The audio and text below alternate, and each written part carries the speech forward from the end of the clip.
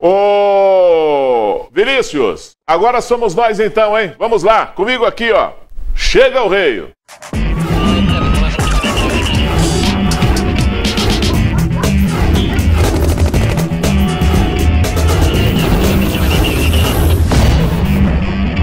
Começa agora mais um programa Gui Boa Ventura. Boa tarde, Gui. Olá, boa tarde para você. Estamos chegando mais uma vez na tela da sua televisão para mais um programa Gui Boa Ventura. A partir de agora, vamos discutir com você a notícia. Vamos falar primeiro do tempo. Na tela, minha bela e querida Patos de Minas Céu, claro, olha aí que beleza. Umas nuvenzinhas aqui ali, só mesmo para enfeite para fazer um babado no horizonte. Olha que bacana. É, e o tempo, céu de outono, temperatura com 26 graus, 27 de máxima, 52% a umidade relativa do ar. Rio Paranaíba e vazante com indicativos aí na tela da sua televisão. Pode vir aqui comigo. Telefone na tela, WhatsApp na tela, e-mail na tela, Facebook na tela, meu Instagram aparece aí na tela da sua televisão.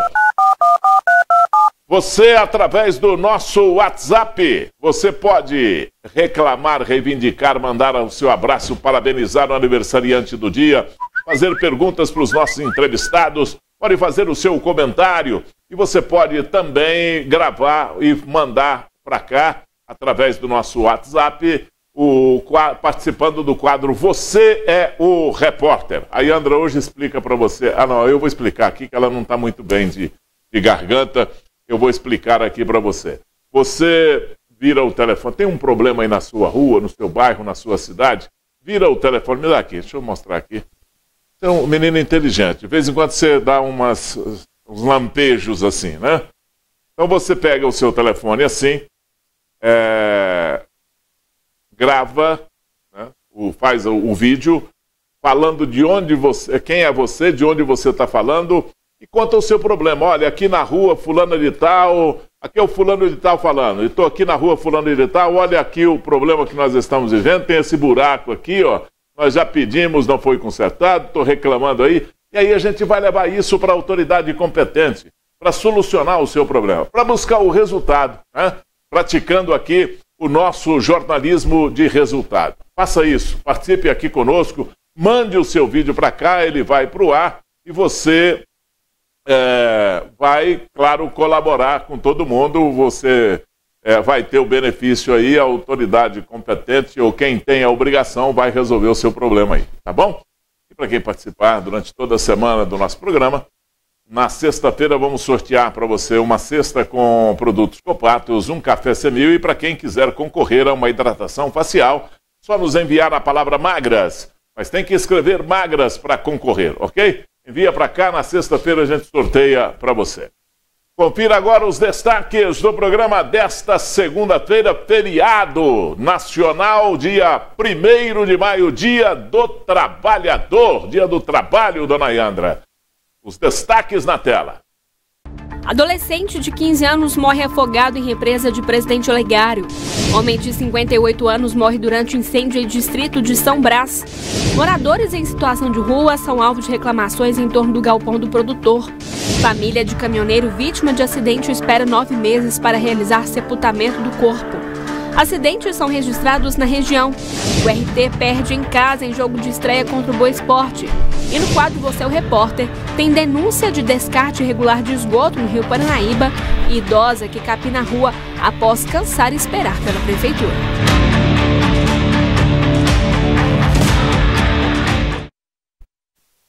Muito bem. A Yandra está aí comigo na tela. Boa tarde para você, Ayandra. Tudo bem? Tá nada, né? Você tá meio perrengue ele passou nesse final de semana meio perrengue, mas está aí.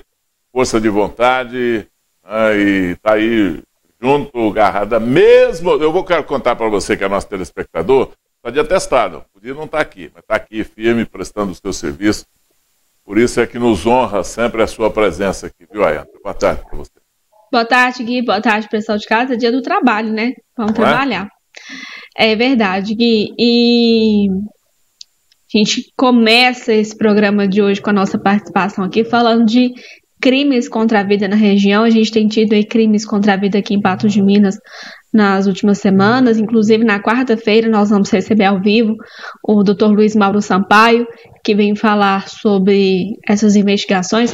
Hoje também nós vamos falar ao vivo com o delegado de vazante, que vem falar aqui sobre a prisão de três pessoas por um roubo em uma residência lá naquela cidade. E aí a gente começa mostrando a situação em patrocínio de um crime registrado lá naquela cidade. Esse fato aí que aconteceu no distrito de São João, da Serra Negra ontem à noite. Segundo a Polícia Militar, a vítima foi identificada como Luiz Borges de Oliveira, de 50 anos, e a vítima que foi morta a facadas durante uma discussão com o próprio irmão. O Luiz chegou a ser socorrido, mas não resistiu aos ferimentos, morreu. E aí, segundo as informações, e as testemunhas, é, o, o irmão, que é o Luiz, a vítima, estava fazendo um churrasco quando o outro irmão, que seria o autor, chegou na varanda, é, gritou com aquelas pessoas ali que estavam naquele momento da confraternização, e aí o suspeito derrubou a churrasqueira no chão, impedindo que as pessoas assassem a carne. A vítima, então, Luiz, ao ver aquela cena, foi tirar satisfação. Segundo as informações, ele se apoderou de uma enxada, foi até a janela, perto onde o, o suspeito estava, deu um golpe na janela, no sentido que, que a gente viu para reivindicar o seu direito né, de estar fazendo churrasco naquele local. E aí então o suspeito pegou uma faca, os dois discutiram e aí ele foi golpeado por várias vezes. A polícia militar foi acionada, o suspeito foi localizado e a informação que ele deu é que ele revidou após ser atingido por um golpe de enxada. E aí, então, essa é a justificativa do autor e a gente acompanha esse fato. Nos próximos dias, a gente deve trazer mais detalhes também a respeito disso. Em Brasilândia, de Minas, também teve um assassinato. O fato aconteceu ontem pela manhã. O homem foi assassinado a tiros no bairro Porto, lá em Brasilândia de Minas, e a vítima foi identificada como Elton de Freitas, de 35 anos. É, a vítima era conhecida pelos apelidos de Preto e também por lealdade. E de acordo com as informações do site JP Agora, que a gente está acompanhando aí, o Elton tinha sido alvo de uma tentativa de homicídio há alguns meses. Ele foi atingido por diversos disparos de arma de fogo, incluindo aí um tiro de espingarda calibre 12 na cabeça. Cápsulas de 9mm também foram encontradas lá no local do crime crime. Segundo as informações, a vítima era conhecida, bastante conhecida no meio policial, tinha várias passagens aí por tráfico de drogas, furto e receptação, e a investigação agora continua em andamento para tentar identificar os autores e também saber a motivação. O que a gente sabe, Gui, é que pode ser aí realmente um crime de vingança, de ódio, né? Porque pelo que a gente acompanhou aí, foram várias armas usadas durante o assassinato, inclusive com disparo na cabeça, e ele já tinha sido aí é, jurado, vamos dizer assim, de morte, né? Porque já tinha sido alvo de tentativa de homicídio recente. Para finalizar esse giro por agora, a gente tem informação ainda da PRF, que divulgou na tarde de sábado que durante uma operação de rotina da BR-365, um homem de 28 anos foi preso. Ele foi flagrado transportando drogas dentro de um ônibus, Gui, e esse ônibus aí seguia de Uberlândia para Montes Claros. A polícia disse que fazia então essa abordagem de rotina quando mandou o ônibus parar. Os próprios passageiros disseram que ao perceber que o homem seria abordado, esse homem de 37 anos se encaminhou para o banheiro. Quando a polícia entrou no ônibus, ele estava saindo do banheiro. E ao fazer a vistoria lá, então, é, encontrou aí vários pinos de cocaína, é, bucha da mesma droga, de aproximadamente 7 gramas. E aí, essa apreensão e prisão feita pela PRF. Esses são os destaques de hoje, Gui. Qualquer novidade, eu volto aqui com você. Tá muito bem. Giro, uma execução e uma briga de irmão, né? Irmão mata irmão. Que coisa terrível isso aí, né? O que é um desentendimento do ser humano, né? A gente precisa tomar muito cuidado com isso. E de repente um perde a cabeça e comete um desastre desse aí. Meu irmão matar o outro, porque como? Sabe? Quando você perde um irmão por uma morte natural, eu nunca perdi um, um assim.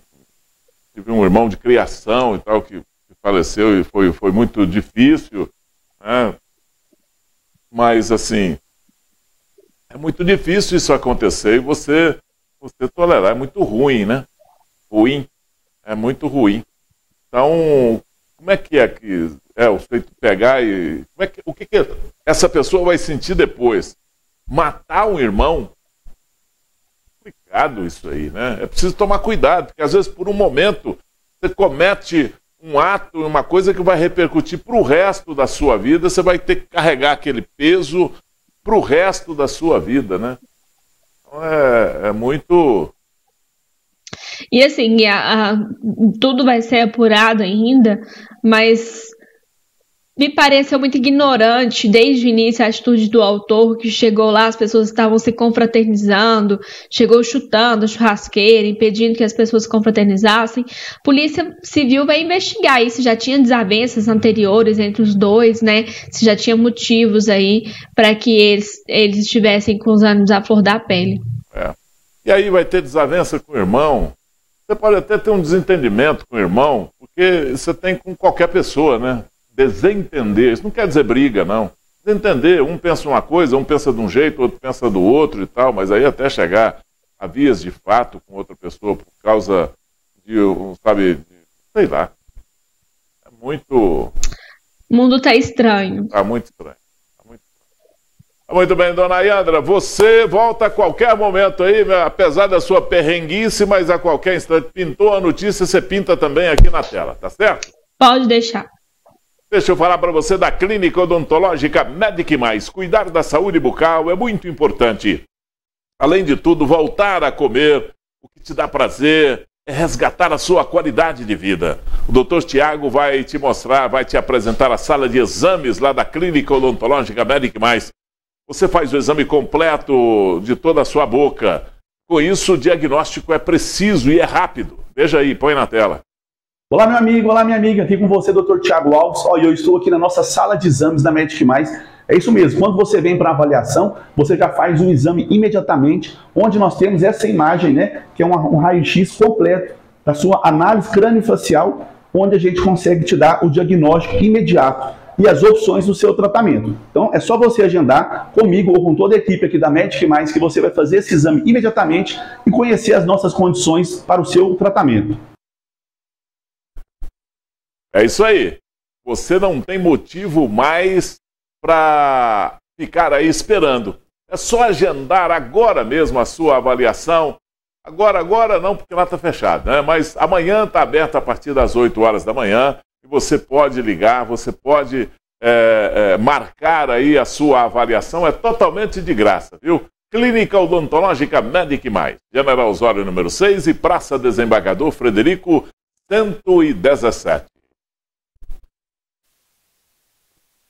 Um adolescente morreu afogado. O fato aconteceu ontem após ele tentar atravessar uma represa aqui em Presidente Olegário. Eu vi dois casos desse hoje, esse de Presidente Olegário e um outro no Triângulo Mineiro. Tudo tentando atravessar represa, tudo nadando em represa. Vamos ver esse de Presidente Olegário. Põe aí na tela. Arthur de Oliveira Silva tinha 15 anos e se afogou nessa represa em Presidente Olegário. Por volta das 14h48, entrou a solicitação de afogamento.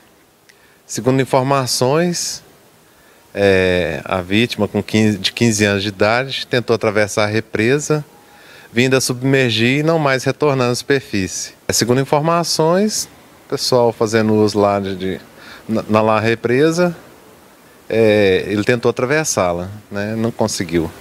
A vítima foi encontrada submersa no meio da represa pelos militares. Preparamos a guarnição de salvamento, deslocou até o local, realizando busca através de varreduras até localizar o corpo né, da vítima.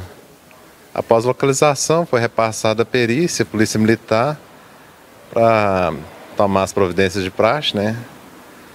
Encaminhar para o ML e depois liberar para a família a orientação do Corpo de Bombeiros para que possa se evitar este tipo de acidente é que não sejam procuradas áreas inapropriadas para banho. Sem a presença de pessoas que não sabem nadar, é, lugares desconhecidos, né? às vezes vai entrar em local desconhecido, não sabe profundidade, os riscos, o fundo do, do balneário, se tem pedra, se é lamaceno, ou seja, desconhecendo o local, não evitar entrar.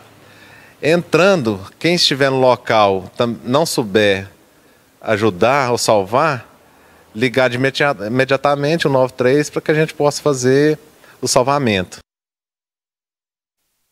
Muito bem, o um incêndio foi registrado na madrugada de hoje em uma residência no distrito de São Brás, município de Lagamar. Fica a 25 quilômetros de Lagamar. Um homem de 58 anos acabou morrendo. Põe na tela. O homem da foto, identificado como José Berto Neto, de 58 anos, morreu dentro desta casa que foi tomada por chamas. O telhado e paredes caíram, se misturando com os móveis que foram destruídos pelo fogo. No mesmo local estava Natal José da Fonseca, de 55 anos, deficiente físico. O fogo foi contido por vizinhos e o apoio de um caminhão-pipa. O Corpo de Bombeiros foi acionado e militares conseguiram resgatar com vida Natal José, que apresentava ferimentos e foi encaminhado a atendimento médico em Lagamar. Já o corpo de José Berto foi encaminhado para o Instituto Médico Legal. É preciso tomar cuidado com esses acidentes, né? São perigosos sempre, principalmente acidente com fogo, né? Pessoa precisa estar preparada, fazer uma, uma, em casa, por exemplo, precisa fazer prevenção, né? fazer prevenção em relação à rede, à rede elétrica, a questão do, do, até do funcionamento do botijão de gás, do fogão do botijão de gás, como é que os anteparos de segurança que você tem que colocar nisso aí, né, desligar sempre o botijão de gás, deixar sempre uma ventilação na cozinha, é preciso de ter é, isso e é preciso da pessoa ir atrás dessas informações para não acontecer esse tipo de acidente, porque pegou fogo, aí daí para frente é só estrago, né? Como foi esse lá em São Brás. Eu quero falar com você que se formou no ensino superior. Chegou a hora de pensar em um futuro bem sucedido, fazer acontecer. E no Unipan sua carreira vem primeiro. Eu faça uma pós-graduação Unipan. São mais de 100 cursos nas áreas de agronomia, educação, engenharia jurídica, negócios, saúde animal, saúde humana e tecnologias. E ainda você tem uma variedade de modalidades, podendo ser presencial, digital com presencialidade, 100% digital e em company. Com certeza o seu curso está no Unipan. Esta oportunidade é tudo o que o seu futuro precisa. Matricule-se já. Descontos de até 20%. Consulte condições em pós.unipan.edu.br. Unipan, educação que transforma. Um telespectador denuncia o descarte irregular de esgoto em Patos de Minas. O flagrante foi feito pelo Elton no último sábado, lá no bairro Copacabana. Veja a participação dele no quadro Você é o Repórter. Põe aí na tela, pode rodar.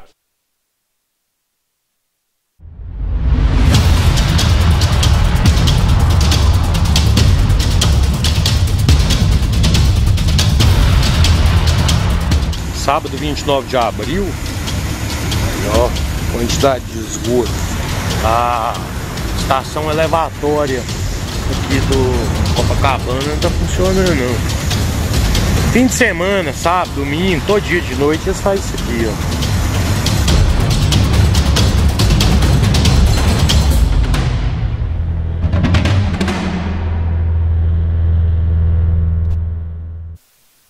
Ainda no sábado, a Copasa informou que o extravasamento foi causado por uma falha eletromecânica em um conjunto motobomba que tinha mobilizado equipes e equipamentos para que a situação fosse normalizada o mais rápido possível. Perguntamos hoje se o problema havia sido totalmente solucionado, mas ainda não recebemos nenhuma resposta. Aí é que está o X da questão. Certo? Aí é que está o X da questão. A Copasa comete crime ambiental na cidade. Ah, porque teve um problema. Problema seu. Ah, porque a motobomba. Problema seu com a sua motobomba. Jogar esgoto in natura dentro do rio Paranaíba é crime, crime ambiental. Ela tem que pagar por isso. Cadê os órgãos de fiscalização da cidade que temos na cidade? Podema, até a própria polícia ambiental tem que ir lá e fazer uma autuação administrativa na Copasa. Ah, mas nós somos polícia, somos do, do, do governo estadual, vamos. Você não tem que olhar quem é que está fazendo. Lavra o alto e manda para cima. Preciso que esse tipo de, de punição aconteça para que não fique assim, tipo colarinho de palhaço para a Copasa, né? Folgadaço. Ah, não, eu posso deixar acontecer, porque se acontecer, comigo não vai acontecer nada.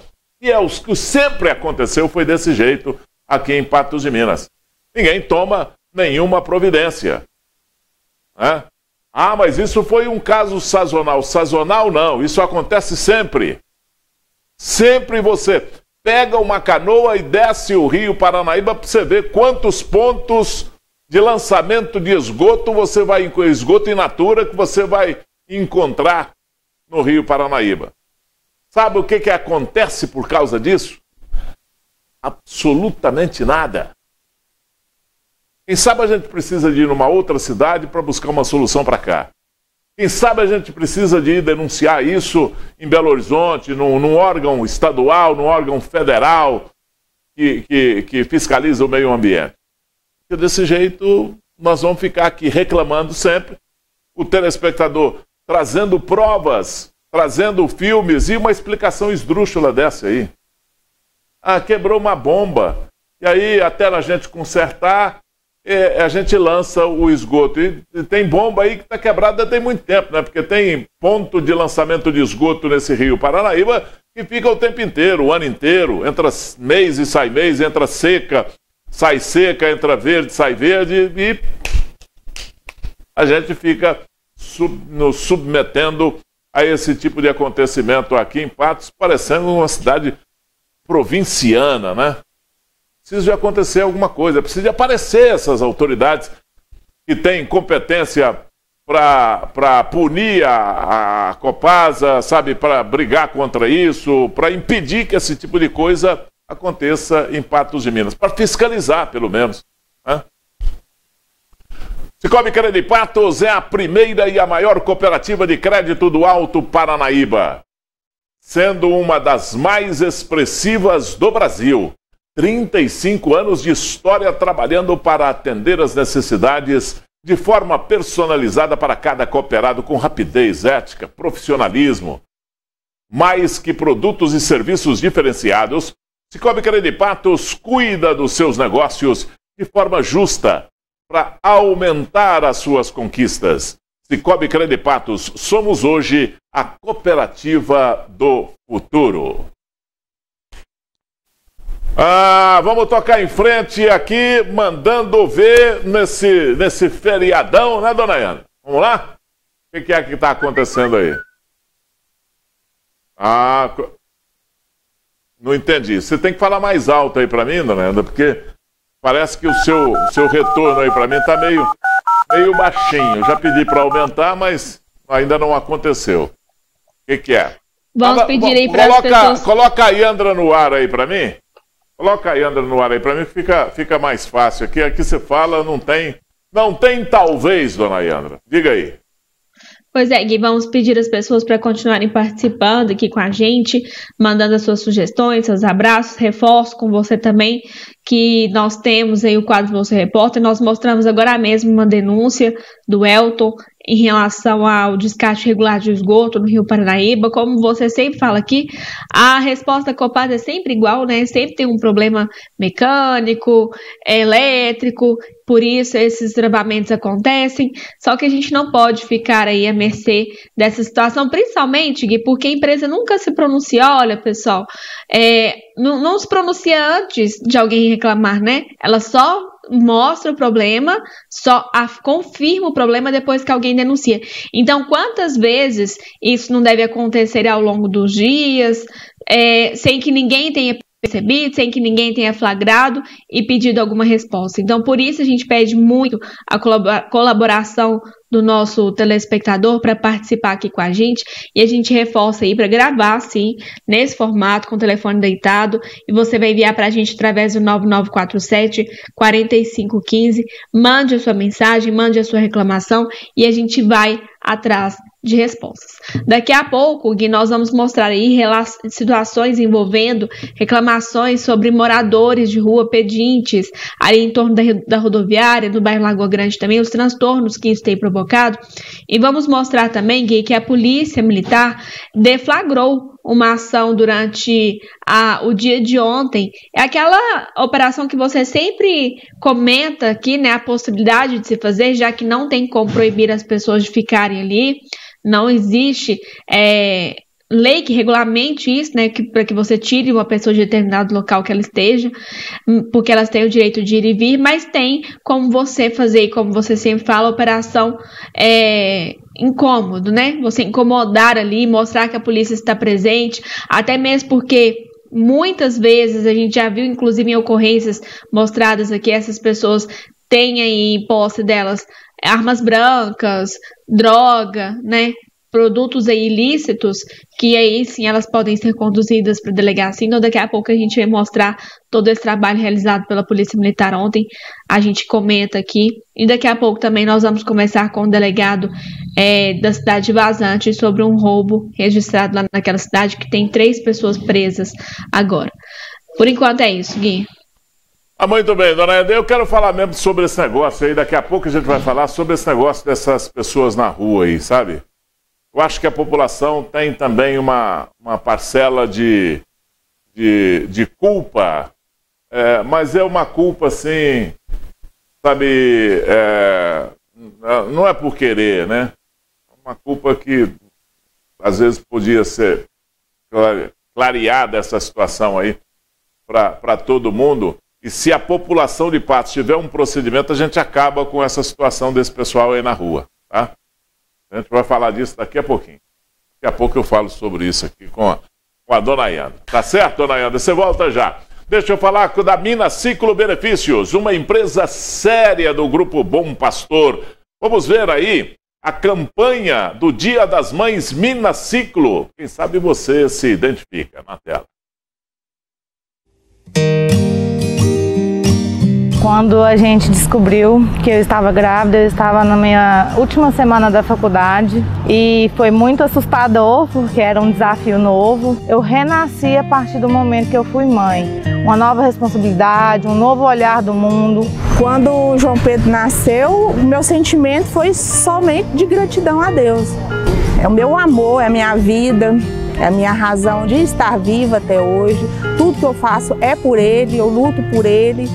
Foi difícil. Eu não esperava que eu ia ser mãe, mas com o tempo eu fui acostumando, a barriga foi crescendo e a gente foi passando algumas dificuldades, porque o Arthur foi de risco, mas no final eu tenho muito orgulho do que eu me tornei, da mãe que eu sou e amo demais aquele pequeno.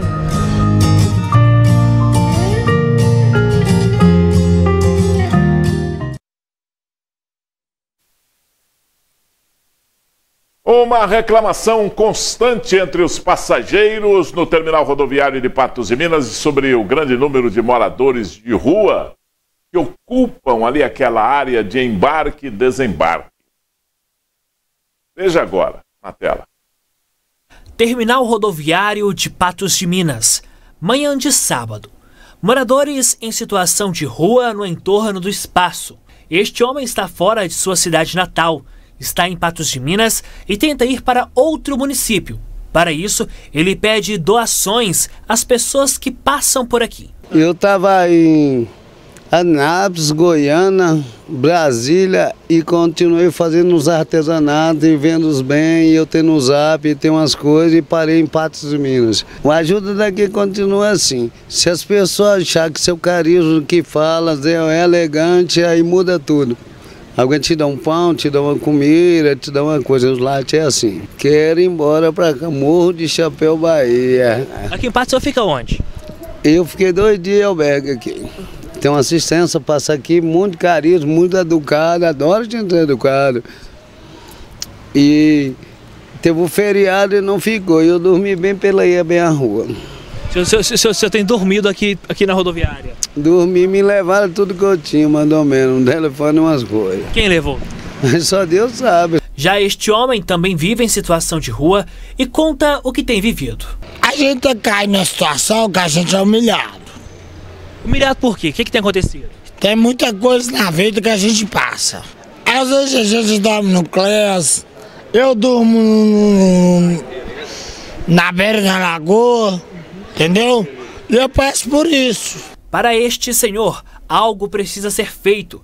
Em alguns momentos, há sensação de insegurança. É complicado demais, esses coitados ficam resolvendo. Aí eu, acho que é o poder público que, tinha que dar um jeito, né? É ruim. É ruim, gente chega perto deles já fica meio desconfiado já. Já outros preferem não comentar sobre o assunto. Olha, daqui a pouco vem mais aí sobre, sobre esse assunto. Nós temos mais sobre esse assunto. Eu vou deixar para falar sobre isso no final, né? Vou deixar para falar isso no final. Porque é um assunto que a gente precisa discutir. E todo mundo que tem voz nessa cidade precisa falar sobre isso. Precisa ter uma campanha institucionalizada também pelo poder público para a gente eh, tentar resolver e amenizar esse problema aqui em Patos de Minas. Três envolvidos em um assalto à residência no bairro Novo Horizonte, em Vazante. Crime que aconteceu no dia 13 de março deste ano, foram presos na última sexta-feira pela Polícia Civil. Para falar mais sobre isso, eu vou conversar com o doutor André Luiz Ferreira. Doutor André Luiz Ferreira é o delegado de Polícia Civil lá da, da cidade de Vazante, a queridíssima Vazante, festeira e acolhedora cidade de Vazante.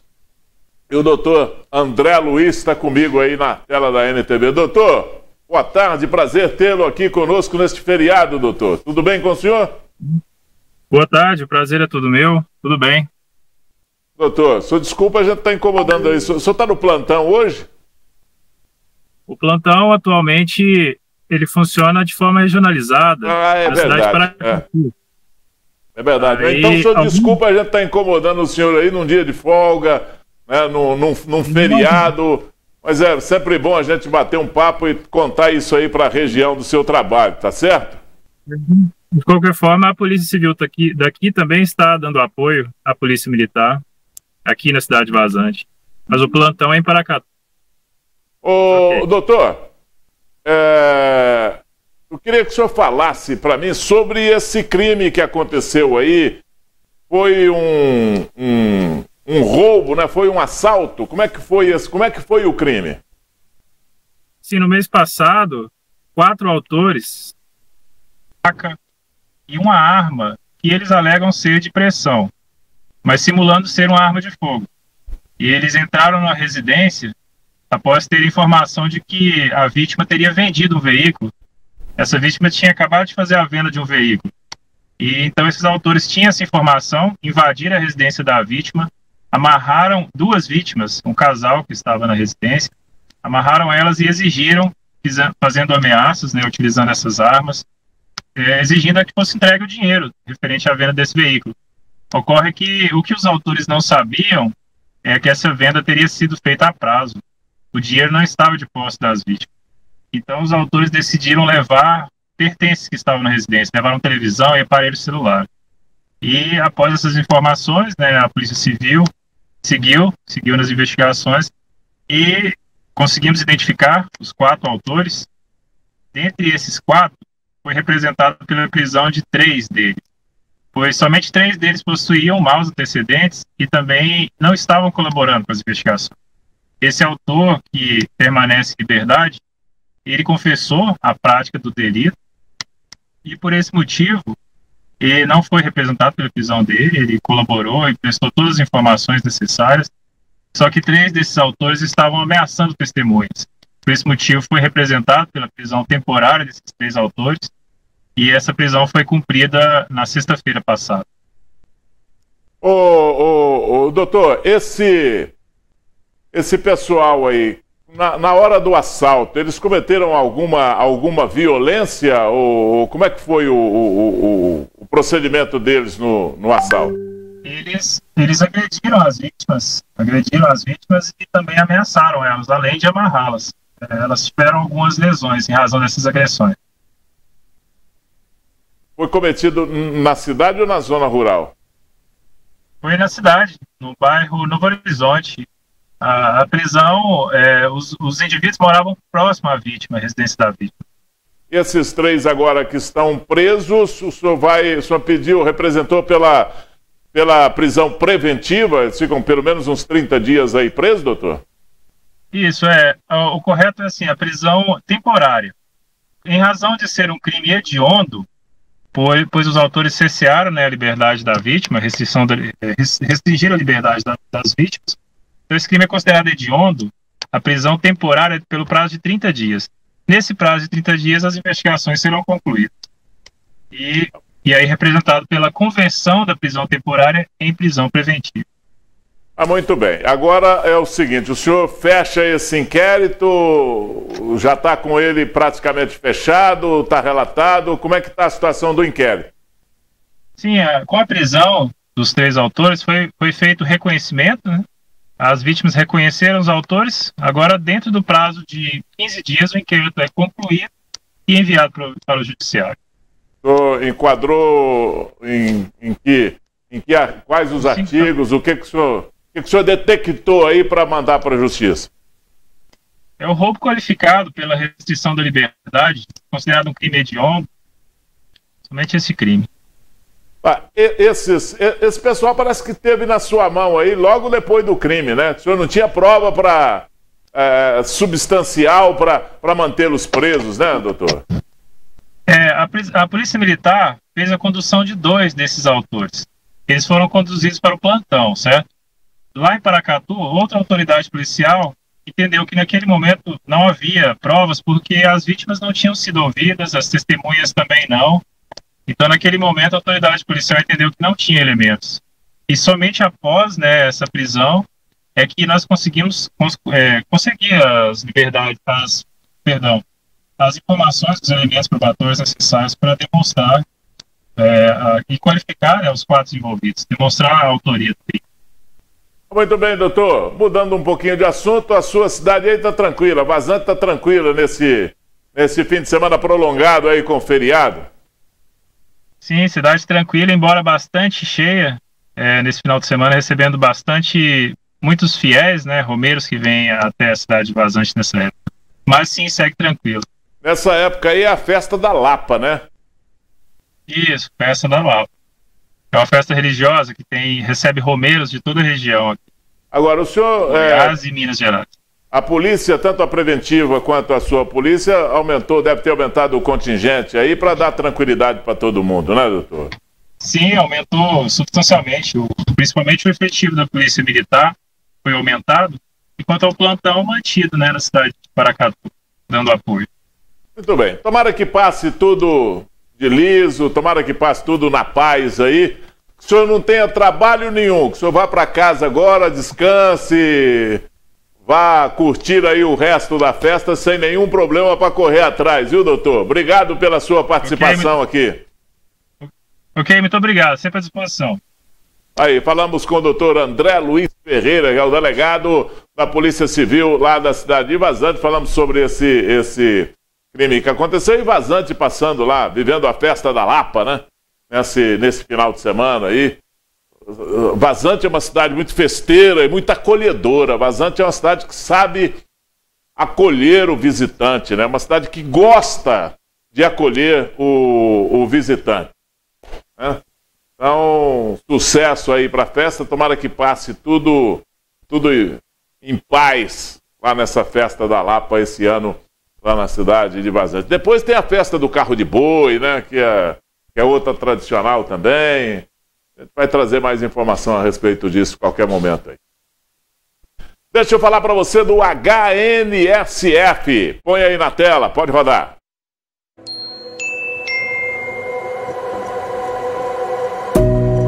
Você sabia que o coração é o motor que faz o nosso corpo funcionar? Por isso, é fundamental cuidar bem dele. Na cardiologia do HNSF, contamos com uma equipe médica especializada em cuidar do seu coração, através de um atendimento que é referência. Contamos com alta tecnologia para garantir um diagnóstico seguro. No HNSF, temos diversos tratamentos e procedimentos disponíveis para cuidar bem do seu coração.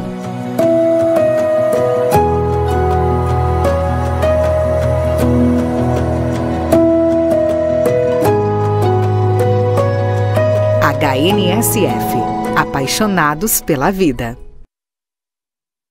A cardiologia do HNSF é referência em cuidar bem do seu coração. Entre em contato e agende o seu exame pelo 3820-1000. HNSF. Apaixonados pela vida.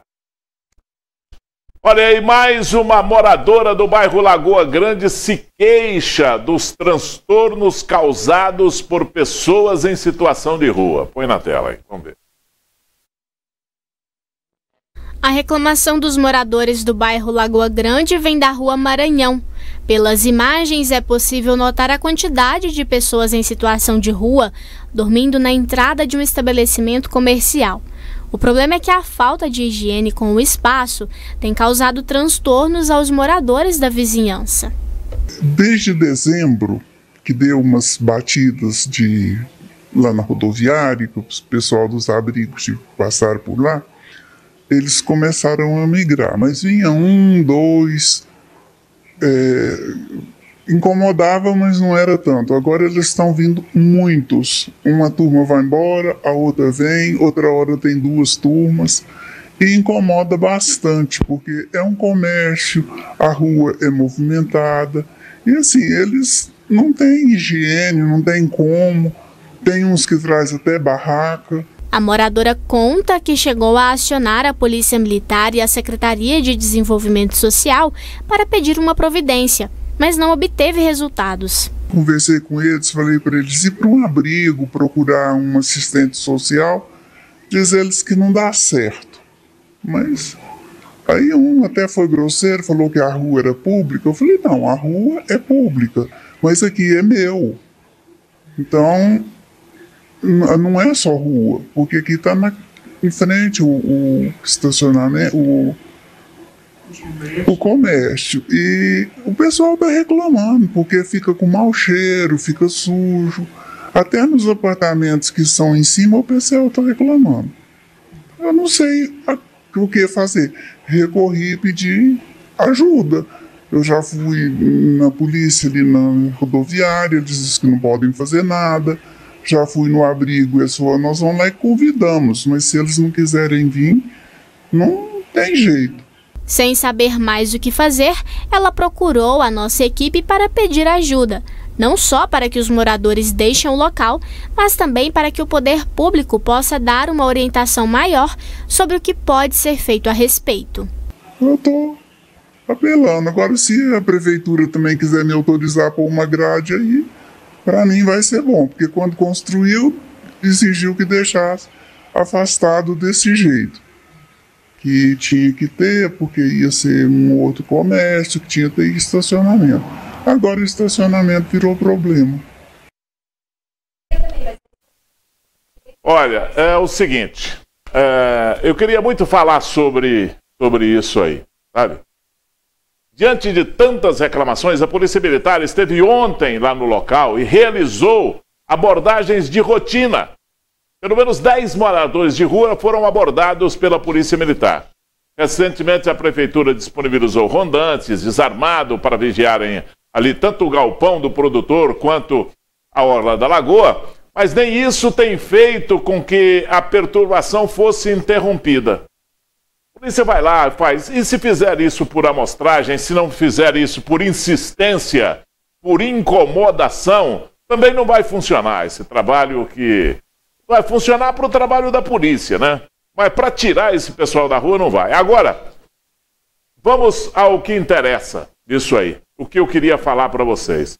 Nós, moradores da cidade, nós cidadãos, temos que ter um compromisso é, de não dar dinheiro, é, absolutamente nada para esse pessoal. Se você quer fazer uma caridade, se você acha que pode ajudar alguém que esteja necessitado na realidade, faça isso através de uma entidade, sabe? Que não vai jogar o seu dinheiro fora, que vai aplicar o dinheiro que você der, por menor que seja esse, esse número, por, por, sabe, por menor que seja essa sua colaboração, vai aplicar bem em pessoas que realmente necessitam, não em pessoas que estão na rua para perturbar os outros, para fumar droga, por convicção de que não quero, não quero trabalhar, eu vou para a rua, ali eu ganho uma pratinha aqui, outra ali, e vou somando isso, vou perturbando as pessoas e acabo fazendo uma fatura e eu sobrevivo na rua porque as pessoas vão me dar, me dar o que comer, me dar o que beber. Se eu passar frio na rua, vão me dar um cobertor. Então, acho que Patos pode dar o exemplo para o Brasil. Não alimentando esse tipo de situação. Perdão. Não alimentando esse tipo de situação.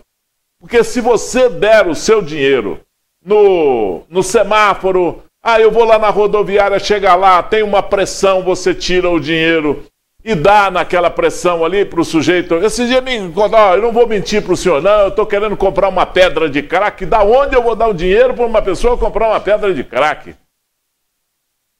Não vou fazer isso de maneira nenhuma.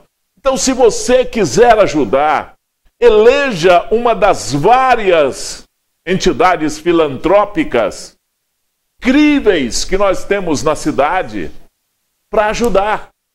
Você pode pegar qualquer uma dessa entidade e fazer uma doação. Ah, mas eu só tenho cinco reais. Não tem problema, seus cinco reais vai colaborar com outros tantos cinco reais que vão aparecer para ajudar as pessoas que têm necessidade. E você não vai dar o seu dinheiro na rua para ninguém comprar droga, cachaça. Tem gente que acha até bonito. Não, eu não vou mentir para o senhor. Eu vou comprar uma cachaça para eu beber. Vai comprar cachaça com outro dinheiro, com o meu não, pô. Sabe? Isso não é você ser desumano, muito pelo contrário. Nós temos que organizar isso para organizar a nossa cidade, para esse pessoal não ser alimentado para ficar ali perturbando e a gente cobrando do poder público. A gente cobra da polícia que não pode ir lá tirar eles. A gente cobra da prefeitura que não pode ir lá tirar esse pessoal da rua. Porque existe uma lei, existe na Constituição uma determinação que você tem o direito de ir e vir. Se o, o espaço é público, você tem o direito de ocupá-lo. No tempo que você quiser, desde que você não perturbe as outras pessoas, é claro, desde que você respeite o direito das outras pessoas. Sabe, então a gente precisa ter consciência disso. Nós precisamos de entender que não é não dando a moedinha lá no semáforo, sabe, pro para quem sai lá da, da Conchinchina e vem aqui buscar dinheiro em Patos de Minas, sai até de outros países, vem para cá para buscar dinheiro aqui em Patos de Minas, você fala, mas será que eu não vou dar uma moedinha? Aí eu fico com dó, eu não tenho dó nenhuma. Pessoal vem para cá, hospeda em hotel, pensão, pousada, paga, andam de táxi na cidade para colher o seu dinheiro no semáforo. Sabe, nós estamos fazendo a coisa de uma maneira errada. Se você quer, volto a repetir, se você quer ajudar, eleja uma uma entidade aqui da cidade para você dar o seu dinheiro. Se você tá, tiver, der o seu dinheiro na rua, você vai estar tá, muitas vezes, não vou dizer que é todas, mas muitas vezes você vai estar tá alimentando o crime. E principalmente o tráfico de drogas. Você quer isso? Nós brigamos tanto para ah, a polícia tem que prender traficante, mas você dá o dinheiro para o cara ir lá comprar droga. Você colabora com isso. Nós precisamos de é, parar com demagogia, hipocrisia, sabe? Nós não podemos ser desse jeito. Às vezes o que eu estou falando aqui dói para muita gente, tem muita gente que não concorda com o que eu falo aqui, mas analise o que eu estou te dizendo. É melhor você dar o dinheiro ali para comprar droga, para alguém comprar droga, para quem comprar um carotinho de pedra 90, você vai dar o dinheiro para uma entidade que vai aplicar em arroz, feijão, comida, remédio, para quem realmente necessita. Pense nisso. Analise isso. Vamos ter um procedimento diferente aqui em Patos de Minas. Esses dias, eu falei aqui, vou voltar a repetir. Eu encontrei com o pessoal ali vendendo saquinho de lixo. No, no, no semáforo. Fui conversar com a pessoa. Ah, isso aqui é para ajudar uma casa de recuperação de drogado. Beleza, onde é a casa? Ah, a casa que a gente ajuda e tal, mas onde é? Qual que é o endereço da casa? Sorocaba, estado de São Paulo. Nós temos várias aqui, nós temos várias instituições, instituições que você pode ajudar. E aí vem o pessoal de Sorocaba, sabe por quê? Porque o povo é generoso. Vocês ganham dinheiro aqui, levam. Não, o povo aqui de Patos é muito generoso. Essa cidade é famosa pela sua generosidade. Vamos usar essa generosidade nossa de uma maneira correta, mais equilibrada, para beneficiar. Que Sorocaba seja generosa tanto quanto Patos de Minas e eles que resolvam o problema deles lá. E nós vamos correr atrás de solucionar os nossos problemas aqui. Não estou sendo egoísta, não. É só uma questão matemática. É uma questão de equilíbrio das coisas. Pense nisso, tá? Você que está aí nos acompanhando, pense nisso. Nesse tempinho, nada melhor do que aproveitar com um delicioso fundi, não é mesmo? E a pedida certa são os queijos copatos seja acompanhado ou sozinho, em uma simples noite ou uma comemoração especial, os queijos deixam a sua estação ainda mais saborosa. Para garantir um sabor irresistível, você pode contar com toda a linha de queijos copatos. Tem o requeijão, a mussarela, o provolone, o parmesão e várias outras opções que vão deixar as suas receitas com aquele toque especial e conquistar todos os paladares e corações. Vá até uma das lojas Leite Derivados Copatos ou no supermercado mais próximo e garanta todo esse sabor e a qualidade na sua mesa. Copatos sempre presente. Muito bem, a paróquia de São Vicente de Paulo está promovendo a sua tradicional festa em louvor a Nossa Senhora de Fátima. O intuito é arrecadar fundos que serão destinados para a manutenção da igreja. Além das celebrações religiosas, tem barraquinhas e muito mais. Para falar mais dessa programação, comigo chegando aqui o Reginaldo Gonçalves, que é da comissão da festa, e a Márcia Costa, que é coordenadora da Feira de Artesanato, nossa velha amiga aqui do nosso programa. Tudo bem, Márcia? Gui. Prazer recebê-la mais uma Prazer vez. Prazer é todo nosso. E saber que nós podemos contar com vocês melhor sempre, ainda. Sempre, sempre. Né? E o Reginaldo também, dessa vez aparecendo aqui para nos falar também dessa festa. Tudo bem, Reginaldo? Tudo, bem, Gui. Muito obrigado aí. Né? para a gente estar tá falando um pouco de nossa festa de Nossa Senhora de Fátima. Olha, eu estava falando aqui há poucos instantes, Márcia, você estava ali até acompanhando.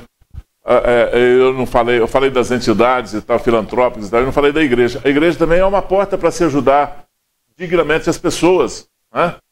Todas sim, as igrejas sim. têm uma obra social muito grande e tal, e aplica o dinheiro de uma maneira correta. Sim, né? sim, sim. É, eu até aqui, Gui, eu não vi nenhuma. Isso eu vou dizer os templos cristãos, tanto a igreja católica quanto a igreja evangélica, que alguém chegasse e que saísse sem uma resposta. Faz um trabalho, igual você diz aí, que não acha correto, por exemplo, eu sair distribuindo.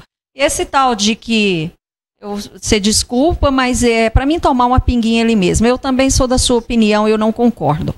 É um trabalho feito, ajuda as instituições e o que não até hoje não sei quem procurou e que falou não quiseram fazer nada por mim, porque se é algo que a própria igreja não consegue, ela vai mandar para onde tem que ir. Ela corre atrás, né? Ela corre atrás. Ou então, se você chegou, me pediu, não é algo que a paróquia São Vicente consegue resolver, mas é algo que tal instituição é, resolve, então automaticamente ou eu vou te já passar o contato de quem é que vai te socorrer, ou eu vou providenciar resolver para você. Pois é, é só a gente fazer a coisa certa da maneira certa, né?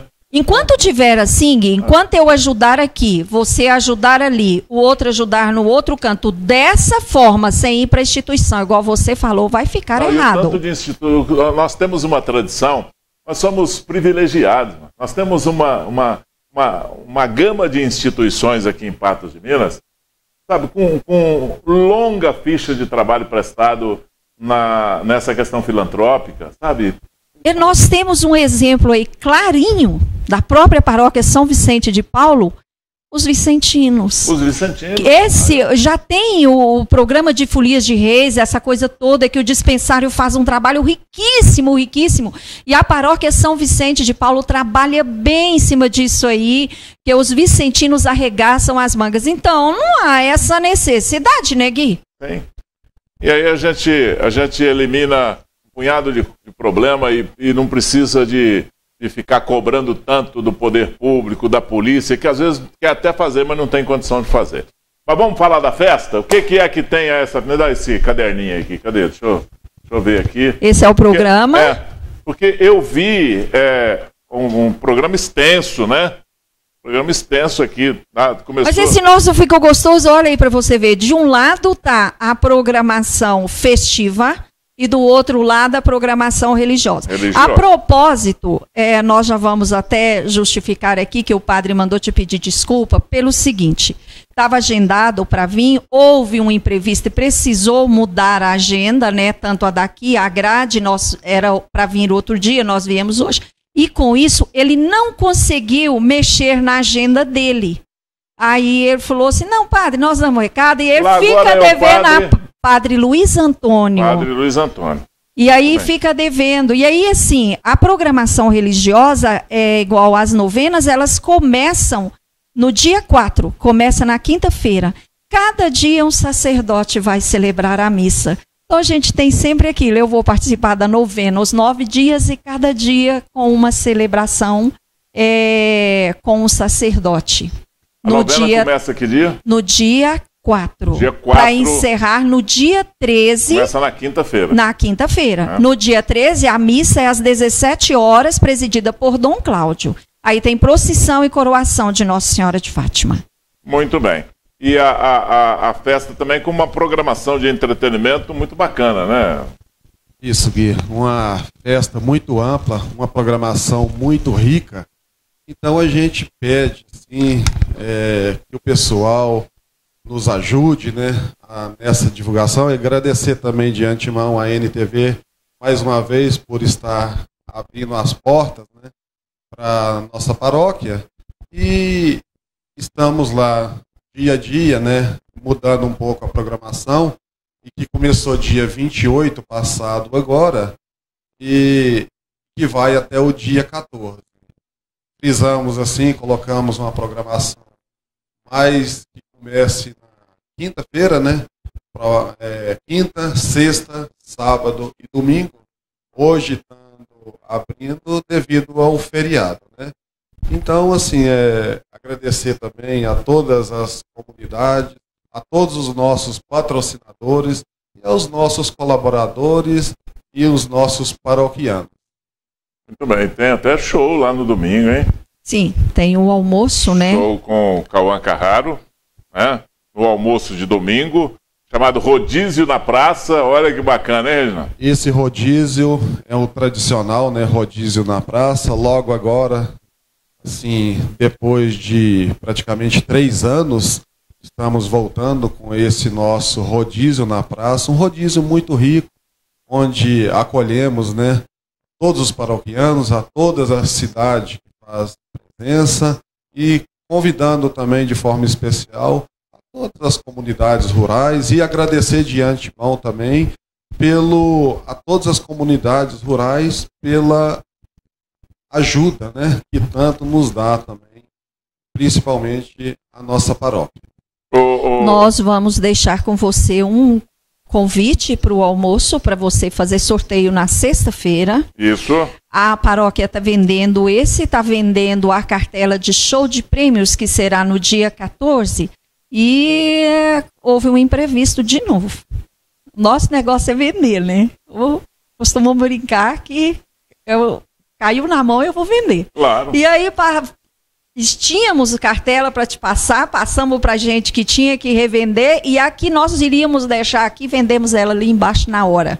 Então Aí. depois nós providenciamos. Ainda porque também a pessoa precisa preencher, né? Porque é, o sistema é online, né, o Reginaldo? Online, isso. A pessoa não precisa estar presente, né? Então, aquelas pessoas que adquirir a cartela pode ficar tranquilo que o sistema de sorteio nosso vai ser online. Ele De pode- casa mesmo concorre. Ele pode eh, acompanhar tra- pela internet. Isso, pela mas ele vai precisar, quem ganhar essa cartela, que você pode sortear na sexta também, vai precisar pegar conosco, é, preencher, né?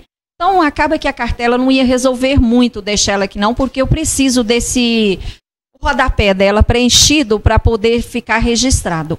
Eu deixo com você, tem meu telefone nesse programa seu e a pessoa que for sorteada, ela entra em contato comigo para a gente providenciar e entregar. Uma TV 43 polegadas. Isso, primeiro. Uma máquina de lavar. Segundo, E um micro-ondas. Ah, tem também um airfry. tem o terceiro e o quarto prêmio. São quatro prêmios. Por 15 Ótimo. reais. Por 15 reais. Aí. Tá vendendo que é uma maravilha essa carteira, porque os prêmios são bons. Que é, eu falo, né, que a minha parte é divulgar o artesanato, né? Sim. Eu vim para divulgar o artesanato. Na barraca, nós temos uma variedade enorme de tapetes. Nós recebemos o tapete dos apaquianos, então tem bastante tapete bonito lá para ser vendido. Camisetas bordadas, imagens. Então, o pessoal visitar a barraca do artesanato. Nós temos também, sempre tem, teve, sempre assim, de umas três, uns três eventos. As candidatas ao título de Rainha Mariana, que você vai ver no programa atrás aí, tem a foto das três. É a Mariana de quatro anos, a Maria Laura de seis e a Mariana de oito anos. Elas estão concorrendo ao título. Elas vendem cada um real adquirido é um ponto. Então elas estão trabalhando muito. Então, se por acaso chegar perto de você e pedir essa ajuda, é porque a pequenininha está precisando de voto. É como se você estivesse dando voto para ela. E elas vão ser coroadas no dia 14. Vai ser logo após a celebração ali, a gente faz a eleição e a contagem dos pontos e já faz a coroação. Elas estão vendendo tudo isso e, além disso, uma rifinha, que ela, se você compra um bilhete por três e dois bilhetes por cinco. Estão trabalhando com muito gosto. No almoço, está até divertido que elas estão convidando todo mundo para ir no almoço que tem surpresa, mas não pode contar porque o padre não deixou contar. E aí elas estão fazendo a festa com isso. E falando de artesanato, você fez aniversário há poucos dias, né? Pois é. Presente a gente pode dar quando a gente bem quiser. Exatamente. Presente não tem hora para ganhar e como você diz, eu sou sem seca, não Eu- importa. E eu sou sem seca de tudo. Eu recebo presente de tudo quanto é jeito. A qualquer momento pode vir. Então nós problema. trouxemos esse é do artesanato, trouxe um mimo para você, espero Obrigado. que goste. E assim, foi uma festa diferente desse ano, né? Porque como você disse, né? A, a situação, mas o aniversário precisa ser comemorado, né? É a verdade, vida. é. Sua mãe estaria muito feliz sabendo que você está comemorando a vida. e eu bem. certa vez ouvi de um monsenhor por ocasião de uma morte, que falou que quando Deus entra na casa da gente para buscar alguém, porque nós somos dele, né? Quando ele vem para pegar de volta, ele pega quem está mais preparado, que no seu caso foi sua mãe. Então, é, Infelizmente. tem que ser. Mas é, é isso aí. Agora, em relação ao artesanato, deixa eu, muito obrigado, tá? Obrigado, obrigado pelo carinho. Sim, sim. Muito grato. É, Para a gente encerrar, Márcia, eu queria falar o seguinte: olha, na sexta-feira próxima agora, queria a sua participação no quadro, você vai ver com a Yandra lá, no quadro Sim. Gente que Faz, para gente divulgar o artesanato lá da. Sim, da- da- coloco. né? Coloco sim, coloco e, as e fotos. aí a gente pode di- divulgar tu- tudo, todo, Sim, eu passo pra ela. pessoas que participam lá para a gente alimentar esse artesanato durante o ano inteiro aqui. Sim. Ajudar essas pessoas também. Sim, porque o artesanato, o que nós temos mesmo é da paróquia. O que veio, porque nós temos doações e tudo, o que veio de que está lá, que a paróquia trabalha na condição de pegar 10%, e que a gente sempre faz, nós fizemos um trabalho com a juíza, e nós temos assim um apoio muito grande, doutor Paulo Henrique Delicoli, a doutora Solange, que agora já nem está mais conosco, mas ela fez um trabalho junto com o presídio, e a PAC, o pessoal da PAC, eles recolhem os produtos e mandam para nós. Então, eles trabalham ali ciente de que na festa de Nossa Senhora de Fátima e na festa de São Vicente será colocado os produtos deles para vender. Já e eles têm um trabalho muito Já bonito. tem o espaço garantido aqui. Ah, perfeito. Tá bom? Obrigado pela sua participação. Obrigada a aqui. nós. Tá feito o convite aí, todo mundo E para participar lá. Participem conosco. É. Vai Já- almoçar conosco, já tá. Eu sei que você geralmente vai para fora, né? Volta, vai para Uberlândia. Mas chama a sua esposa e vai lá almoçar Vamos lá, conosco. sim. Bom, Esse dia eu passei lá na porta com ela, falei, olha aqui que é realizada a festa, olha ali aquela praça e tal. Então, programa para domingo estarem aqui e almoçar conosco Vamos lá. programar. Vai Vamos ser programar. uma festa bem gostosa. Aí vai lá almoçar conosco. Tá Entre bom, em contato para a Obrigado, gente viu? providenciar. Obrigado, obrigado, Reginaldo. Muito Obrigado, pelo obrigado. presente, hein? Um Muito abraço para obrigado. vocês. E que agradecer também esse trabalho, agradecer também às pastorais, aos festeiros, a toda a nossa comunidade e mais uma vez também o pessoal da comissão de festa toda, ao nosso pároco, Padre Luiz Antônio e os demais, a todas as comunidades aí que tanto nos ajudam. tá Bom, e Grande muito- abraço. mais uma vez, muito obrigado O pelo padre Luiz espaço. Antônio não veio aí, Márcio, mas você chega lá e fala com ele, ó, alguém falou que o senhor fazendo uma oração, a intenção do, deles lá, de todo mundo lá na NTV e tal, já tá, já, já tá, tá, tá bom, tá compensado. Você nem sabe o que, que vai acontecer, então, com esse seu pedido. Então tá pode, bom. pode contar cinco as orações dele. Fico, Vai contando almoçar já. conosco para conhecê-lo e ele disse que vai ficar devendo essa visita e na próxima estará conosco. Um abraço para você, para vocês também. Um também. Uma telespectadora de 73 anos nos enviou um vídeo onde ela capina a rua José Caixeta, esquina com a Zina Rocha, bairro Caramuru. Segundo ela, já que a prefeitura não fez o serviço, ela vai fazer. Veja a participação da dona Maria de Lourdes no quadro Você é o repórter. Põe aí na tela, pode rodar.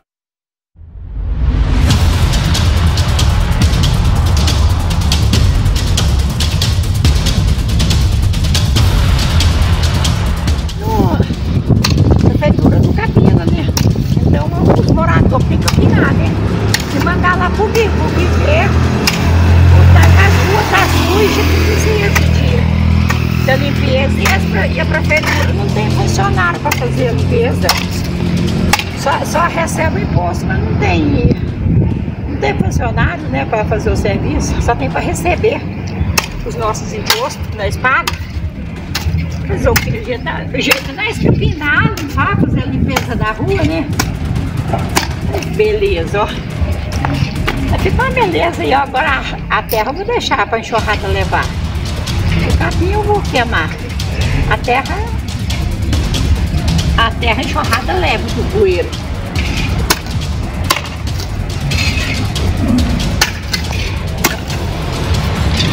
Beleza, tá vendo? Pode onde vai dar capinar asfalto. Tô capinando, eu estou capinando asfalto.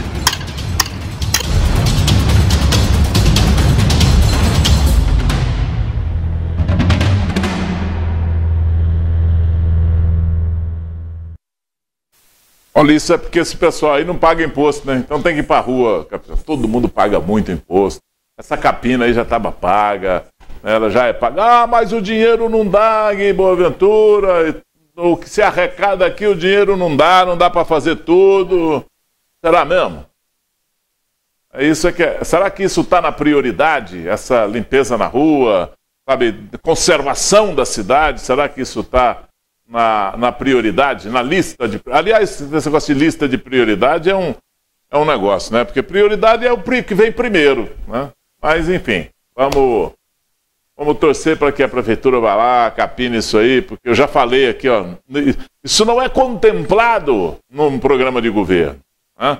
Ah, mas todo mundo fala nisso na campanha eleitoral. Fala, fala, mas não é contemplado. Porque o que se tem, as equipes que tem para esse destino no, na administração pública, não dá. E não é aqui, não, em qualquer outra cidade. Não dá para limpar a cidade. Vai lá para você ver. Quantas pessoas tem aí já programadas para limpar a cidade? Quantas equipes? O que, que é pago aí para Limperbras para fazer esse trabalho aí? E aí? Não dá.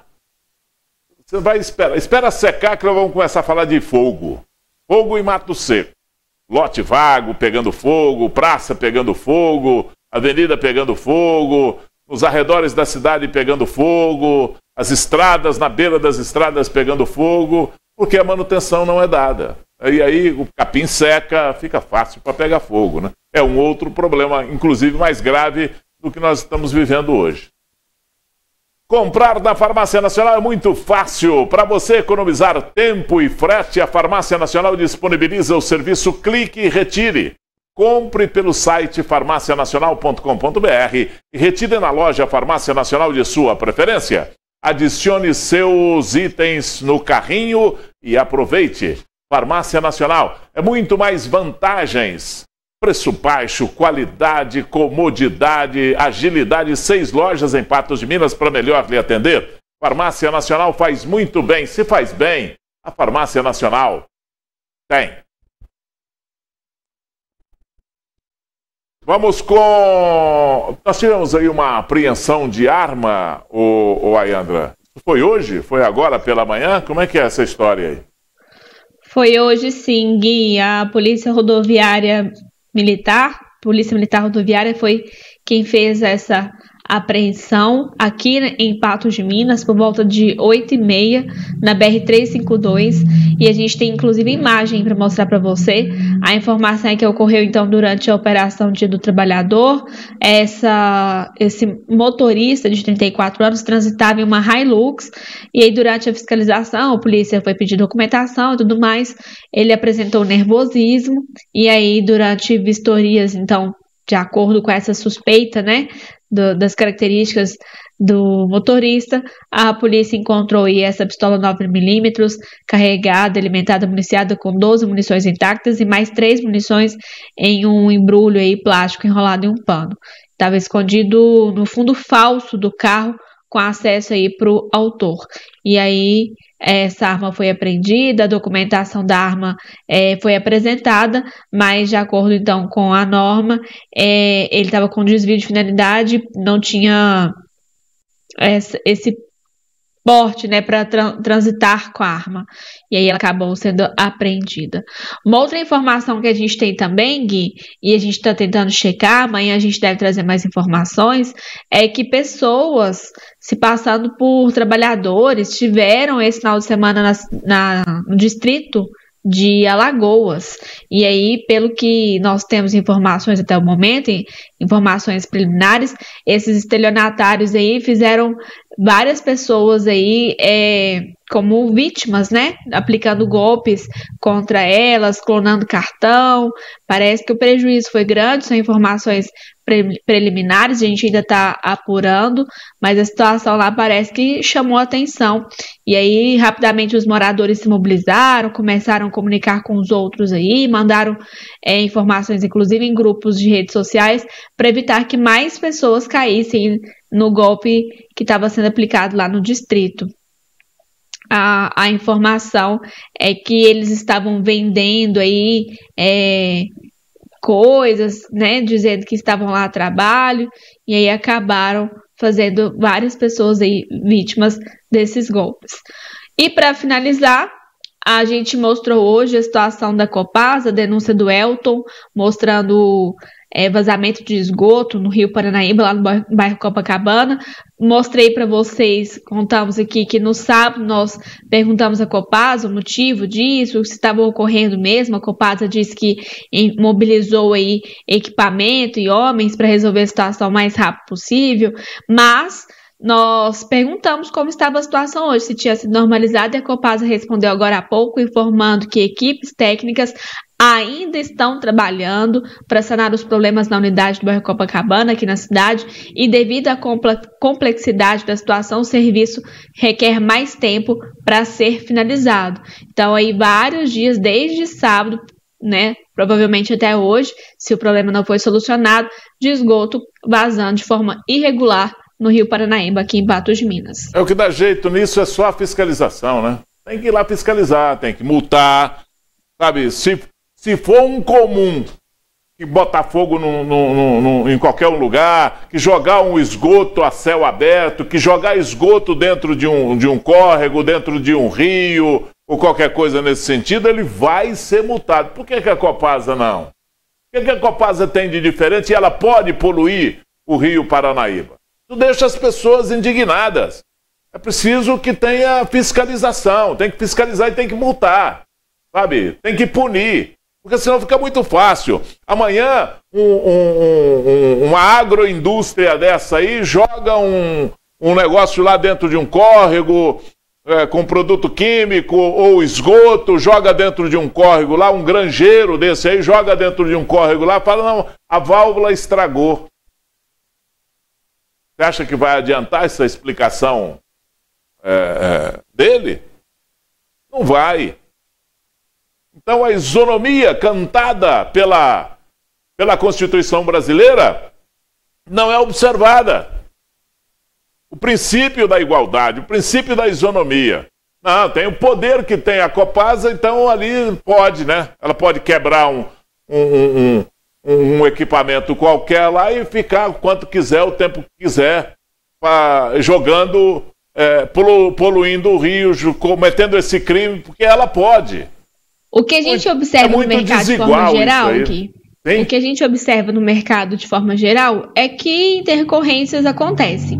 Mas quando essas intercorrências acontecem, as empresas têm que ter um plano B para que o problema seja pelo menos minimizado de forma mais rápida.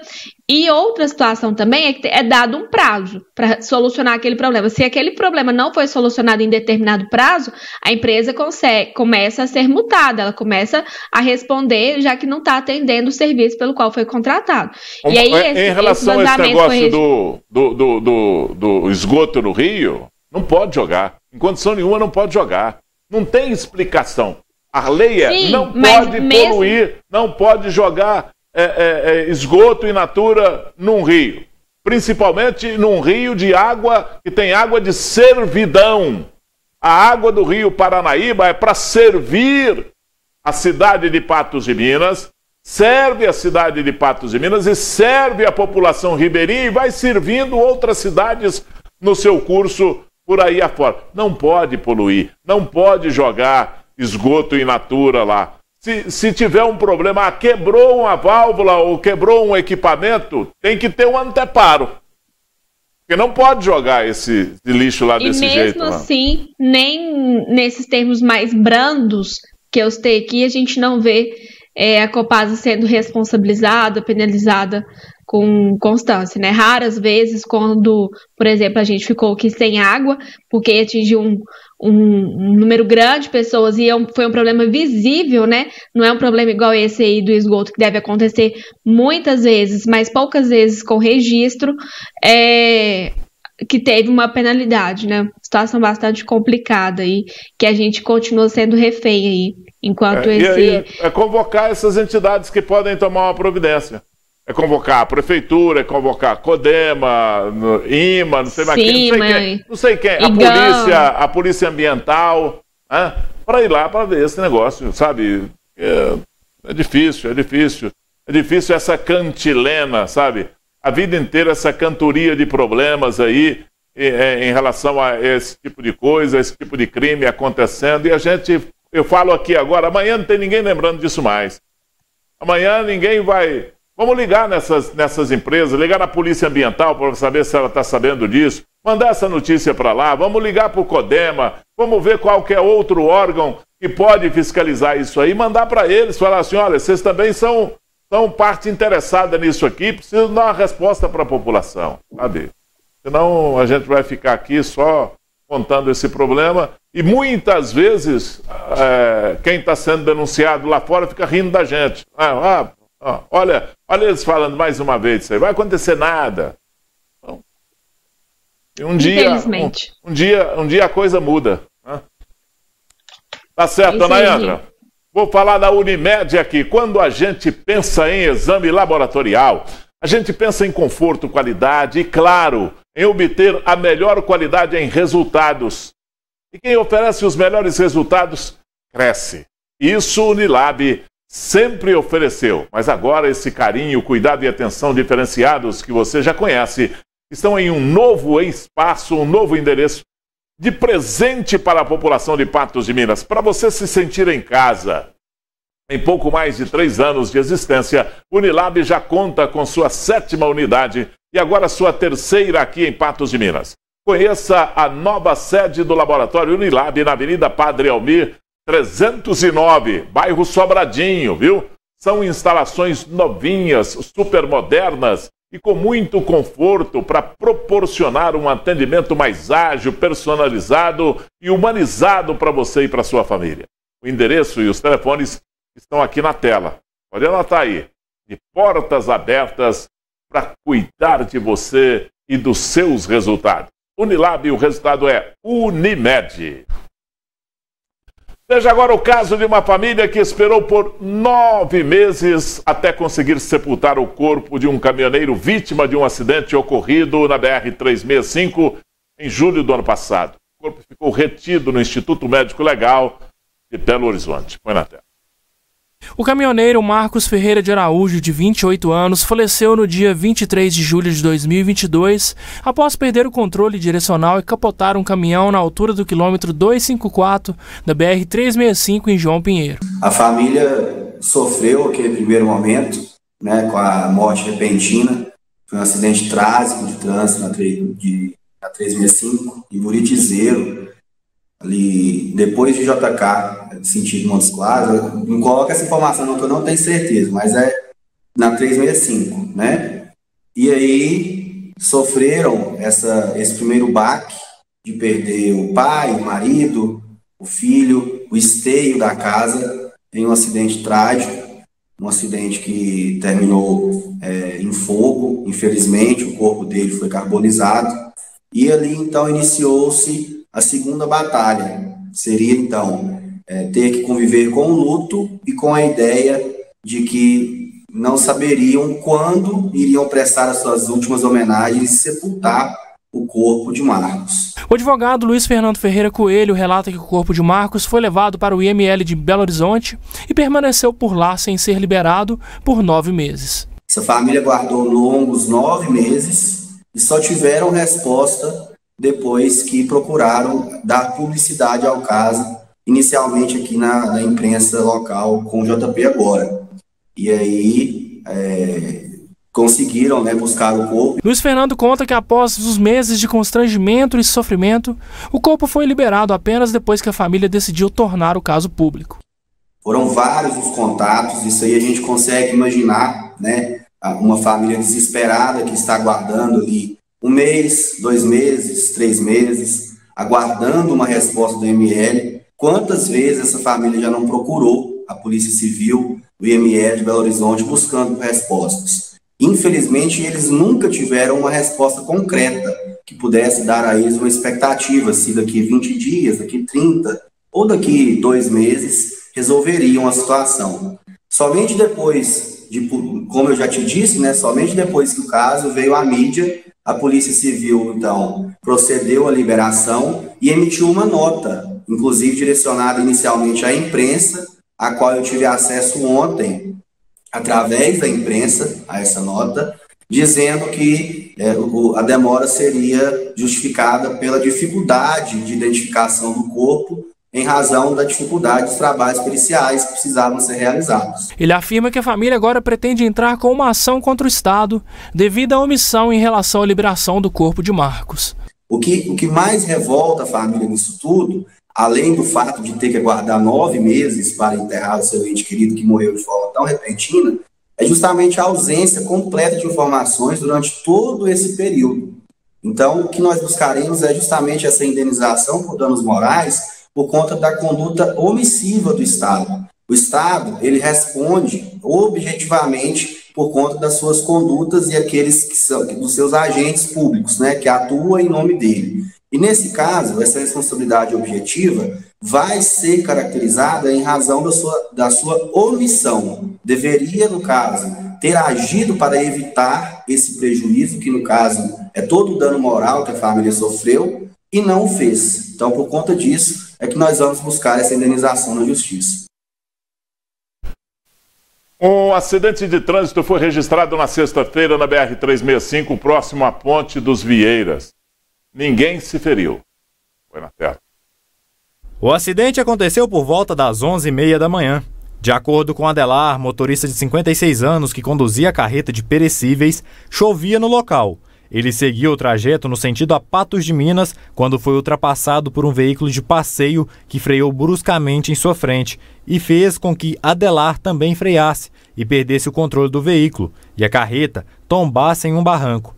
O veículo só parou alguns metros à frente. O motorista não se feriu. Estava vindo normal, trânsito muito movimentado e a fila de veículo e o e atrás de mim vinha o pessoal, né?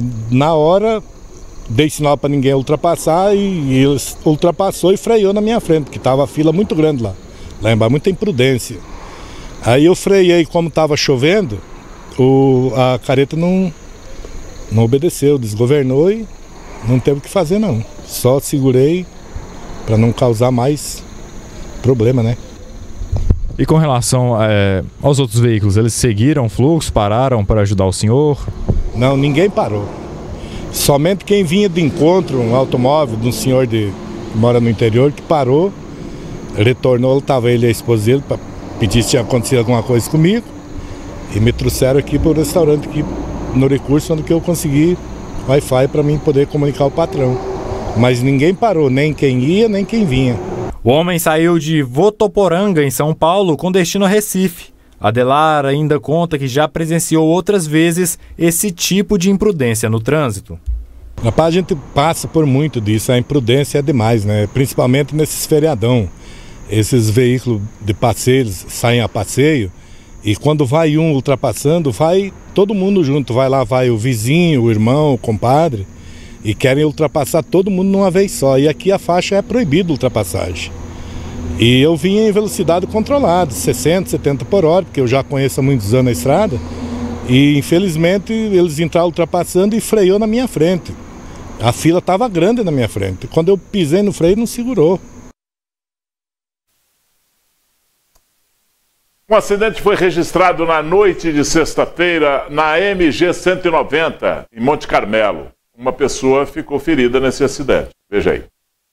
O Fiat Uno seguia de Abadia dos Dourados para Monte Carmelo, quando o condutor, de 54 anos, invadiu a contramão e se deparou com uma caminhonete que seguia em sentido contrário. O condutor do Fiat Uno realizou uma manobra brusca no intuito de desviar da caminhonete e, nesse momento, ele perdeu o controle da direção e capotou.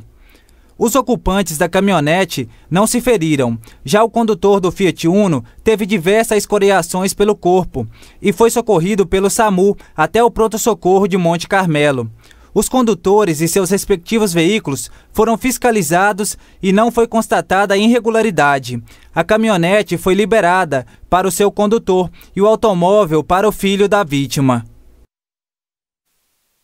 Um acidente foi registrado no sábado pela manhã na LMG 740 em Presidente Olegário. Quatro pessoas ficaram feridas aí. Veja. A condutora do carro, uma mulher de 54 anos, seguia pela rodovia sentido Lagoa Grande, quando em uma curva perdeu o controle da direção, saiu da pista e capotou.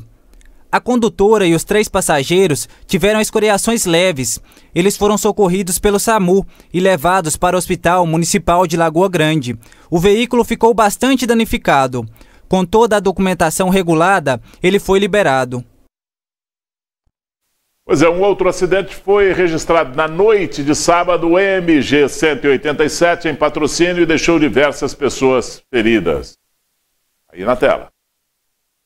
O condutor, que tem 41 anos de idade, conduzia o ônibus e disse que no veículo tinha cerca de 20 passageiros. Ele seguia sentido distrito de Salitre de Minas para a comunidade de Abacaxi, quando ele caiu em um buraco, perdeu o controle da direção e tombou. Ele parou do outro lado da pista em um barranco. Seis vítimas de ferimentos foram socorridas pelo SAMU e Corpo de Bombeiros ao pronto atendimento em patrocínio. Outras vítimas foram socorridas por terceiros. O veículo envolvido no acidente é um ônibus escolar que pertence à Prefeitura de Serra do Salitre. Após ser fiscalizado, ele foi liberado para os responsáveis para que pudessem realizar a sua retirada. A Polícia Militar Rodoviária registrou o acidente. Vamos falar de futebol, né? A URT e o Boa Esporte se enfrentaram na tarde de sábado no estádio Zama Maciel pela primeira rodada do módulo 2 do Campeonato Mineiro 2023. O time da casa perdeu por 2 a 0 a URT. E de forma inédita, a NTV, em parceria com a Rede Minas, fez a transmissão da partida ao vivo. Põe aí na tela. A URT também 7911. Um time o Começa o módulo 2 do Campeonato Mineiro e com transmissão inédita pela Rede Minas, em parceria com as emissoras do interior. As equipes da NTV e da Rede Minas trabalharam juntas para levar imagem em alta definição e todas as informações da estreia da URT e Boa Esporte no Zama Maciel. Vamos a Patos de Minas com o Odaí Cardoso. Odaí. Muito bem, a gente falando aqui direto do Zama Maciel. Vou tentar falar com o técnico da URT, o Igor está passando por aqui. Boa tarde para você, Sulimar. Igor, time pronto, tudo certo, estreia do campeonato módulo 2. É, boa tarde a todos, né? Time sim preparado para a estreia, né? E olha o Odaí Cardoso, fez bonito na transmissão e também com a bola, hein? Mas melhor mesmo ficar na função de repórter. Bom, no Zama Maciel não havia muitos torcedores, porém a organizada Poeira Azul fez barulho do início ao fim da partida para empolgar os jogadores. Em campo, a URT encontrou um adversário equilibrado. Mesmo sem torcida, o Boa Esporte não se intimidou e estava disposto a somar os três pontos. E levou mesmo. O Boa venceu a URT por 2 a 0, mesmo jogando fora de casa. E assim terminou o primeiro jogo da URT e Boa na competição. E também a primeira transmissão do módulo 2 da Rede Minas, em parceria com a NTV. Então, fiquem ligados na nossa programação. O campeonato está no começo e não vamos perder nenhum lance. É um, um momento diferente para o futebol brasileiro, para a transmissão esportiva na televisão. Né? Nós tivemos uma ditadura muitos anos e isso está se desfazendo. Nós estamos socializando o futebol, uma democracia no futebol. Você poder achar aquilo que você quer ver na televisão, isso é bom. A Rede Minas está dando um grande passo, juntamente com a NTV, a NTV participando desse projeto aí, dando um grande passo para redemocratizar o futebol no Brasil, a audiência do futebol no Brasil. Pelo amor de Deus, já estava é, passando da hora, né? O torcedor quer ver, quer saber aonde ele vai ver o jogo do time dele. Isso a gente não podia. Agora é direito e aí prevalece o, o poder econômico, era muito ruim. Agora nós estamos democratizando, isso está pulverizando o futebol. Você tem várias opções na televisão hoje, inclusive esse empreendimento da Rede Minas com a NTV de transmitir o, o, futebol da Série B. Nós temos aqui na nossa região, só aqui muito próximos de nós aqui, nós temos a URT, temos o CAP, temos o Berlândia, times que estão aí, que são daqui da nossa região e que vão ser acompanhados aí pela, pela Rede Minas. Isso é maravilhoso. Uma longa parceria que a gente tem com a NTV, né? Aqui em Patos, que é uma parceira nossa de longa data, e essa escolha foi baseada nesse apoio que ela nos deu aqui é, para fazer a transmissão do jogo, que foi feita é, via ar aqui em Patos, o canal 8.1. E quem não pudesse assistir via ar, também estava disponibilizado no, no, site da, da TV, da Rede Minas, que é o www.redeminas.tv e vai acompanhar os próximos jogos, né? É, que serão cobertos, é a nossa estreia na cobertura é, do futebol do módulo 2 do Campeonato Mineiro. Bom, eu estou sem tempo aqui, dona Yandra, mas eu, eu, preciso dar um pitaco a respeito do jogo, só para dar uma, uma, passadinha aqui a respeito do que foi a partida da URT. Eu, eu falei isso algumas vezes já, falei aqui hoje, já falei, falei na transmissão. O time da URT não é ruim. Tem bons jogadores, tem jogadores que demonstraram que sabem o que querem, tem um, um bom lateral direito, tem um bom lateral esquerdo, tem um, um bom meia, tem um, um bom armador, né? e, e, entraram dois atacantes, três atacantes bons no, no segundo tempo da URT. Se tivesse desde o primeiro tempo, tinha mudado a história do jogo. Mas enfim, o que ontem foi foi falta de esquema para o URT, eu acho que falta de treinamento, falta de jogo-treino, falta de coletivo para a equipe. Isso foi um pecado que cometeu o time da URT para estrear ontem no sábado contra o Boa Esporte. Mas é uma boa promessa. O torcedor não precisa descrençar da URT se ela engatar um treinador, né? Ou se o treinador da URT, o Igor Guerra, se engatar nessa, nessa daqui para frente, porque no sábado ele tomou um baile como tática, como mudança de time, de tipo de jogo dentro de campo, caiu nas garras do Nedo Xavier. O Nedo Xavier chamou a URT para o jogo, a URT entrou na dança e perdeu o jogo por 2 a 0 por força do esquema tático do Nedo Xavier. Então a URT precisa consertar isso, precisa estar atento a isso. O Igor Guerra precisa de, sabe, entrar nesse jogo aí, ou sei lá o que fazer, mas a URT não é ruim, a URT ainda pode dar a volta. Pode, não, ainda pode, não. A URT pode muito bem, se dar muito bem né, nesse, nesse campeonato mineiro do módulo 2. Tem time para isso, na, na, na, minha visão, daquele jogo de, de sábado, acho que tem. Mais alguma coisa, mais jogadores que estão chegando, tem mais três que estão chegando aí, alguns reforços aqui e ali. O RT pode se dar muito bem. Obrigado pelo carinho da sua audiência. Bom resto de feriado para todo mundo. Aproveite aí, aproveite com responsabilidade esse resto de feriado e a gente se encontra amanhã aqui ao meio-dia. Combinado? Um abraço para você, boa tarde, tchau, até lá. Até a próxima, Gui.